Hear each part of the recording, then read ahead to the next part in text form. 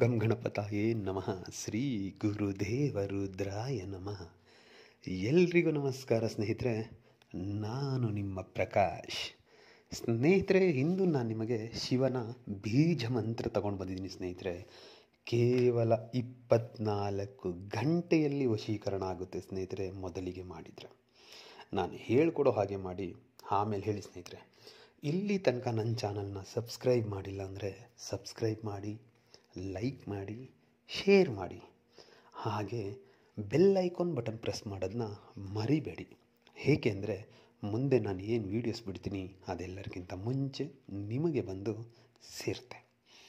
ಸ್ನೇಹಿತರೆ, ಮೊದಲಿಗೆ ನೀವು ಧೂಪ, ಗಂಧದ ಕಡ್ಡಿ ಬೆಳಗಿಸಿ. ಬೆಳಗಿಸಿ ಶಿವನ ಹತ್ರ ಪ್ರಾರ್ಥನೆ ಮಾಡಿಕೊಳ್ಳಿ. ನಾನು ಈ ರೀತಿಯಾಗಿ ನಾನು ಇಷ್ಟಪಟ್ಟವರನ್ನ ನನಗೆ ಒಲಿಸ್ಕೊಳ್ಳೋದಕ್ಕೆ ಹೋಗ್ತಾ ಇದ್ದೀನಿ.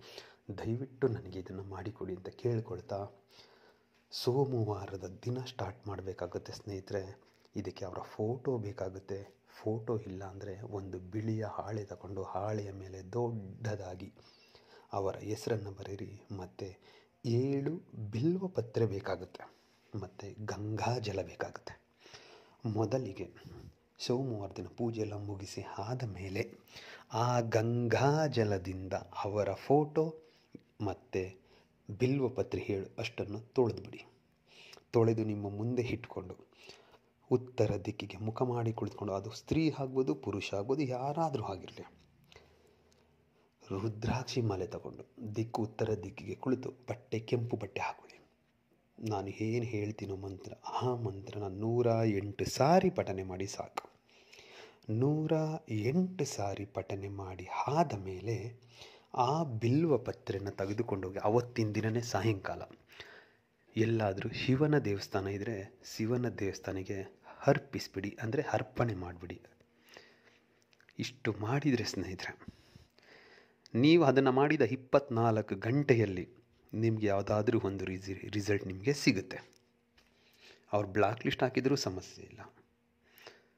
ಅವರಾಗ ಅವರೇ ನಿಮಗೆ ಕಾಲ್ ಮಾಡ್ತಾರೆ. ಅದಕ್ಕೆ ಮಂತ್ರ ಹೀಗಿದೆ. ಓಂ ಶಿವೆ ರುದ್ರ ರುದ್ರ ಭಗವೇ ಭವೆ ಅಮ್ಮುಕಿ. ಮಂ ವಶ್ಯಂ ಕುರು ಕುರು ಸ್ವಾಹ. ಮಂತ್ರ ಇನ್ನೊಂದು ಸಾರಿ ಹೇಳ್ತೀನಿ ನೋಡಿ ಸ್ನೇಹಿತರೆ. ಓಂ ಶಿವೆ ರುದ್ರ ರುದ್ರ ಭಗವೇ ಭವೆ ಅಮ್ಮುಕಿ ಮಂ ವಶ್ಯಂ ಕುರು ಕುರು ಸ್ವಾಹ. ಅಮ್ಮುಕಿ ಅನ್ನೋ ಜಾಗದಲ್ಲಿ ನಿಮಗೆ ಯಾರು ಬೇಕಾಗಿದ್ದರೂ ಅವರ ಹೆಸರನ್ನು ಸೇರಿಸ್ತಾ ಮಂತ್ರ ಪಠನೆ ಮಾಡಿದರೆ ಇದರಲ್ಲಿ ರಿಸಲ್ಟ್ ಬರೋದಲ್ಲಿ ಯಾವುದೇ ರೀತಿಯ ಸಂಶಯ ಇಲ್ಲ. ಮಾಡಿ ಎಲ್ಲರಿಗೂ